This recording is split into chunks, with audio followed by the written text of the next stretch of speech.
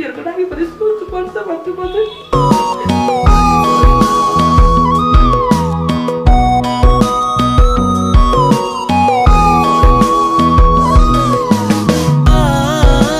ब्यागभित्र के छ त्यो पनि हेर्दै आउँछौँ? होइन यहाँ के छ आज हामी तपाईँलाई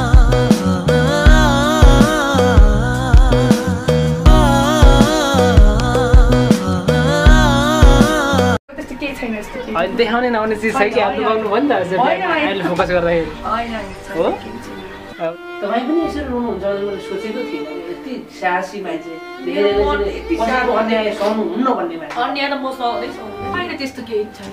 के के छ त भित्र एकचोटि देखाइदिने हो कि? अँ, यहाँ त के हो यहाँ चाहिँ अन्नाहरू जस्ट बेड कभरहरू। अँ, यहाँ मेरो कपडाहरू यहाँ मेरो कुर्ता सुलाहरू छ।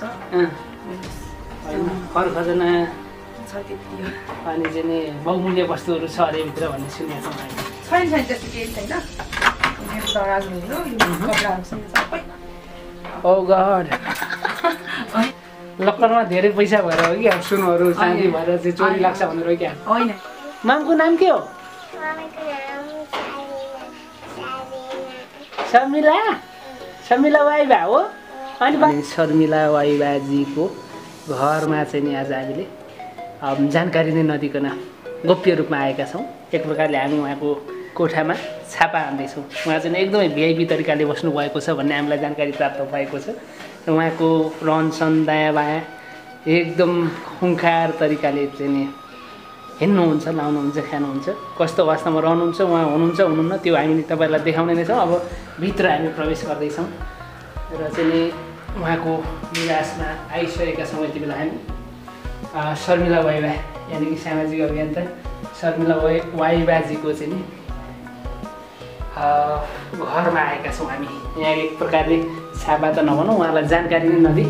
हामी आएका छौँ र उहाँको यो घरको ढोकातर्फ अगाडि बढिरहेका छौँ। तपाईँ सबैले हेर्न चाहनुभएको छ शर्मिलाजी कस्तो अवस्थामा बस्नुहुन्छ कहाँ बस्नुहुन्छ भनेर। र हामी अब ढोका खोल्नपट्टि हजुर को हुनुहुन्छ होला भित्र नमस्कार। ढोका त लाउनु भएको छ भित्रबाट। हेलो नमस्ते बहिनी हुनुहुँदो रहेछ। ओ हो ल उहाँ पनि हुनुहुँदो रहेछ। नमस्कार नमस्कार। अचम्मै भइदिएर के हो? गड के हो? आज आज तपाईँहरू आज तपाईँलाई चाहिँ नि सस्पेन्स सरप्राइज दिनु भनेर आएको नि हामी। अचम्म भयो त राम्री राम्री भएर बस्नु हुँदो रहेछ यार घरमा पनि। होइन होइन भर्खर म आएको थिएँ त्यही भएर। भर्खर नुहाउनु भएको हजुर हजुर। के छ त हल्लीचल्ली ठिकै छ। चलिरहेछ अँ, जिन्दगी। अँ, तपाईँ त तनाउ जाने भन्ने हल्ला पनि थियो। अँ अन्त के अरे वैशाख दुई गते। उहुँ। यता मसिनो दुईजना नानीहरू बहिनीहरू तपाईँको आफ्नै बहिनीहरू? अँ, चिन्जान गराइदिनुहोस् न बहिनी कञ्चन। माया सिंह ठकुरी उहुँ। भित्र छ एउटा नानी। कता कता नानीहरूको घर कसो हो? उसको मेरो घर चाहिँ एकै ठाउँमा। अनि उसको चाहिँ कालीकोट। कालीकोट। ओ माई घर कालीकोट। माया? ठकुरी। चाहिँ राज खानदानको मान्छे। है। तपाईँको त भिआइपी मान्छेहरूसँग मात्रै सङ्गत छ भन्छ नि भयो भने। ल आज तपाईँको हामीले चाहिँ यो घरको चाहिँ नि सबै कुराहरू देखाउने भनेर आएका छौँ दर्शक श्रोताहरूलाई। तपाईँको एक प्रकारले हामीसँग पुर्जी त छैन तर तपाईँको घरमा छापा हान्दैछौँ क्या हामीले पाउँछ? मिल्छ? मिल्छ। यता फोटोबाट जाउँ त को को हुनुहुँदो रहेछ मेरो मामा आफ्नै मामा हो। यतापट्टि आफ्नै मामा। हजुर। उहाँ चाहिँ सानो बच्चा चाहिँ? यो मेरो त्यो सानो मुस- मुस्कानको। तपाईँको मुस्कान छोरी। अनि माथि उता? हजुरआमा र हजुरबुवा ए अँ यता देउता तपाईँ पूजाआजा पनि गर्नुहुन्छ मेरो है? मम्मीको हो? त्यो चाहिँ मेरो मम्मी बित्नु भएको हो। हामी सानो हुँदाखेरि बित्नु भएको थियो। हजुर। अनि हामीले त्यति मम्मीको त्यो पूजा गर्ने यताउति। पूजाआजा पनि गर्नुहुन्छ? हजुर। भगवान्मा विश्वास राख्नुहुन्छ हजुर। यतापट्टि चाहिँ अहिले छिरौँ कि नछिरौँ? अँ, मिल्छ यो चाहिँ बच्चाहरू सुत्नु हो। ए हजुर। गड है।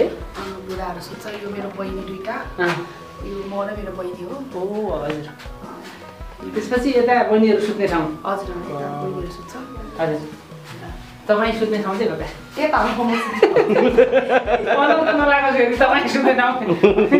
पुरा रानी शैलीमा सुत्नुहुन्छ अरे भन्ने सुनेको थियौँ हामीले।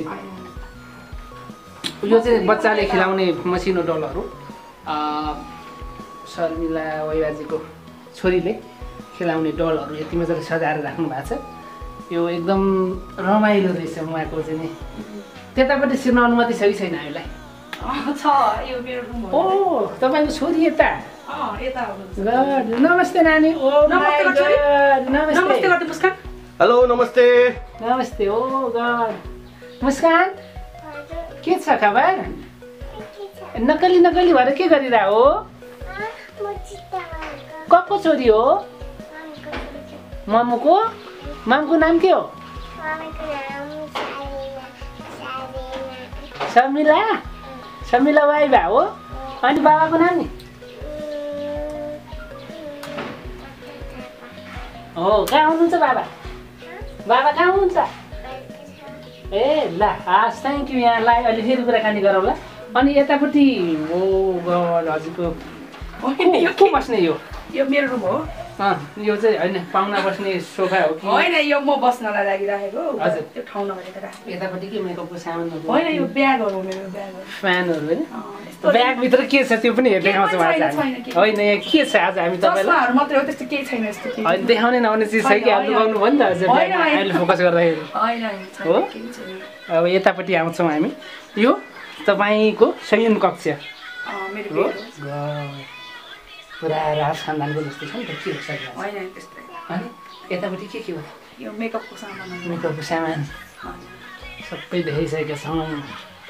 आज हामी शर्मिला भएको बेडरुमसम्म पुगेका छौँ तर यसको अनर्थ नलागेको छैन त। यतापट्टि दराज। दराजमा पुरै खरखजना छ कि क्या हो के खोल्न मिल्छ? मिल्दैन त बच्चाहरू होइन यता आउनुहोस् न यता तपाईँ एउटा के खोलेर देखाउने हो हजुर त केही छैन होइन धेरै खजनाहरू लुकाएर राखेको छ शर्मिला भाइवाले भन्ने कुरा आउँछ नि। छैन त्यस्तो केही छैन के के छ त भित्र? एकचोटि देखाइदिने हो कि?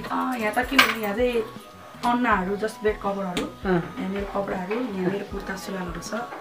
मेरो खर खजना छ त्यति हो। अनि चाहिँ नि बहुमूल्य वस्तुहरू छ अरे भित्र भन्ने सुनेको छौँ हामीले छैन छैन त्यस्तो केही छैन मेरो दराजहरू यो कपडाहरू सबै गड यो सबै कुर्ता सुलालहरू छ यो। सबै मेरो सामानहरू हो। अनि यहाँ चाहिँ के बेड कभर अनि अनि त्यो भित्रको लक्कर चाहिँ खोल्नु भएन नि त होइन केही पनि छैन त्यस्तो त्यस्तो खास लक्करमा धेरै पैसा भएर हो कि अब सुनहरू चाँदी भएर चाहिँ चोरी। लाग्छ भनेर हो क्या होइन त्यस्तो- उतापट्टि नखोल्ने हो नि त। ल ठिक छ तपाईँलाई जबरजस्ती पनि गर्न मिल्छ छोरी के हो धेरै हजुर। मुस्कान टिकटक बनाउँदै। टिकटक बनाउँदै? आफै बनाउनुहुन्छ टिकटक? अँ एकदमै आफै टिकटक बनाउँछ। आफै बनाउनुहुन्छ है? एकछिन आउँदा? तपाईँभन्दा धेरै नक्कली हो क्या छोरी त एकदमै। तिमी अस्ति कसको लागि जेल गएको? तिमी कसको लागि जेल गएको अस्ति? अनि कसको लागि गएको? तिम्रो पर्स मामा कहाँ छ? केमा छ अरे? कसले हालेको जेलमा? कसले हालेको? बिर्सिसक्यो उसले उसलाई सबै थाहा छ ल अब यहाँ किचनपट्टि देखाउने छौँ ओ गड, यहाँ चाहिँ तपाईँ एक्लै सुत्ने हो कि? नानी र म नानी? अनि नानीको बाबा? नानीको अब छैन। हो? अहिले अहिले म कुरा गर्दैछु अब। अब किचनपट्टि जाँदैछौँ। आज हामी छापा छापामार शैलीमा उहाँको चाहिँ यो किचनपट्टि छिर्यौँ साँच्चीकै भिआइपी नै हुँदो रहेछ कि भनेर दर्शक श्रोताहरूले- प्रतिक्रिया पनि जनाउनु भएको थियो। यहाँ चाहिँ उहाँले यो अर्ग्यानिक कुराहरू खानुहुँदो रहेछ। मर मसलाहरू देखियो। किचन साफ छ चट्टचिरी छ। खाना चाहिँ बनाउनुहुन्छ है हुन तपाईँ बनाउँछु। बनाउनुहुन्छ। के के खानुहुन्छ भन्नु त तपाईँको ज्यान देखेर सबै मान्छेहरू खासै त्यस्तो केही एकदम तपाईँको ज्यान देखेर मान्छेहरू लोभाइरहेको अवस्था म चाहिँ त्यस्तो खासै केही खाँदैन रोटी खान्छु करेलाहरू। समथिङ म चाहिँ खान्छु मैले बाहिरको चिज खासै खाँदिनँ। कहिले कहिले खायो भने मोमो चाउमिनहरू खान्छु त्योभन्दा डाइटिङ गरिराख्नु भयो अँ डाइटिङमै छु मैले। अलिक घटेको छु।